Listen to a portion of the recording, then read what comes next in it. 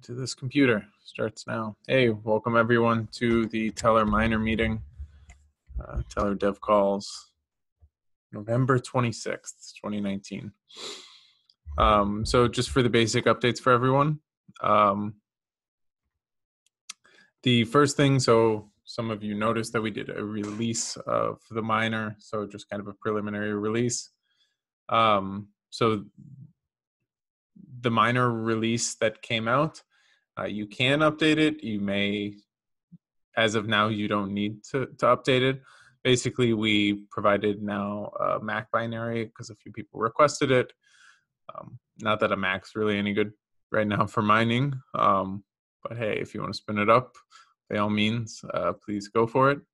And then the other thing, uh, we changed the gas limit. So uh, some of that fifth solution uh, it has some higher gas prices, and on the test net, it actually started failing. So you would have you would have this weird scenario where it would the gas cost would only be like eight hundred thousand, but even submitting with a hundred thousand gas limit or a million gas limit, you would actually fail out. And I did some research into Solidity, and the way that this works is that um, some of the times, so the miners will use estimate gas on your contract to see if you provided enough gas to do it. And since we use some delegate calls, kind of that whole weird uh, upgradable structure, they actually can't uh, estimate it properly. So they will sometimes just say, hey, you don't have enough. Um, so that's where it comes from. So we actually need to overestimate the amount of gas. It's a problem. It was a problem on the test net but it is currently not a problem on the main net. Uh, but if you want to upgrade just to be safe, you can do that. Um, so yeah, that was that was a nice easy one. Other pieces that are coming through. Um, the the big miner update that we're doing. So we have some work done on the GPU miner. Um, we're going to have the GPU miner. We're going to bring that to you guys for Christmas. So expect a GPU miner or at least an MVP version um, by Christmas. So, so what that means is if you are renting out really expensive CPUs, um, if you're planning on buying a new CPU, just just know that it may not be the best investment decision because hopefully you'll be able to to use some GPUs here from January. So um, just keep that in mind. Um, also, once we do push the GPUs, we expect a lot of kind of the profile of miners to change because it'll there are a lot of GPU mining pools. There's a lot of um, kind of people who specialize in GPU mining of cryptocurrencies, and um, if our token continues to grow as we think it will, uh, they might come on and it should provide a lot of additional demand for our token as they need money to stake. Um, but just also be aware that it it could also just cause a, a whole shift in kind of the who the top miners are now will probably not be so in come a month or so. All right. Um, other things that we're doing. Uh, the Tellor scan updates. So we have um, one guy, he's working for Tributes, which you guys can all do, and he's doing some updates to Tellor scan. Um, I'll let you know when he actually pushes them, but we're going to be adding some charts so hopefully you'll have a, a difficulty chart. You're going to have some of those miner charts. Um, he's just going to make kind of a more useful Tellor scan. So if you guys want to help him out, let me know. Um, and just keep checking there for some updates. Um, another announcement. So we are actually in the process of documenting it, but we created an API for you guys. So I'm going to share my screen here.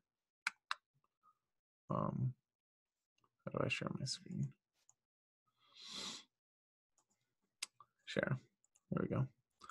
Um, all right, so you guys should be able to see my screen. So we're going to push out some uh, documentation on this, but basically we, we just made a simple API. If you're into creating a more robust API and want to help us out, definitely come do that. It's all open source on GitHub.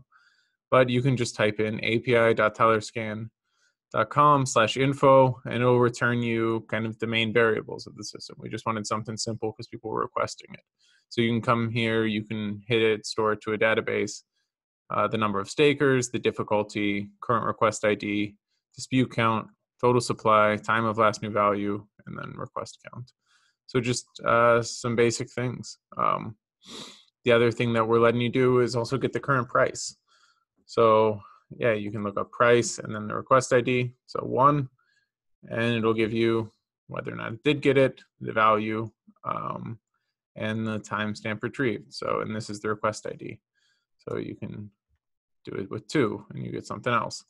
Um, yeah, so if you guys want to help that help us make that better, um, continue to do so, or if you want to just start pulling and making prices, uh, we'll have the documentation up on GitHub. So definitely look for that. Um, should make things easier for you. Um, other things, uh, there's a Tellor 101 article if you didn't see it. Uh, pass it around, help us share it. Um, Mike, there, he put it together. Um, it should be a nice little simple thing for you guys to look at. Um, also, just an easy explainer to pass around to people if they're ever wondering, okay, what is Tellor and, and why is it kind of important?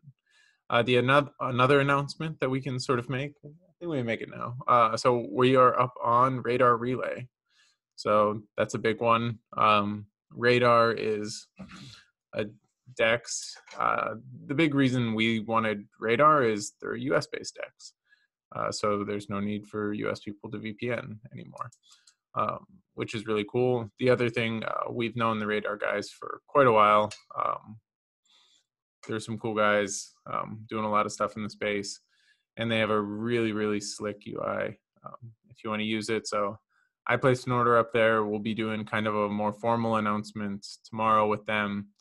Um, so yeah, but if you want to be one of the first people to go uh, place an order on Radar Relay, and you watch this, now's your opportunity. So um, yeah, go have fun with it.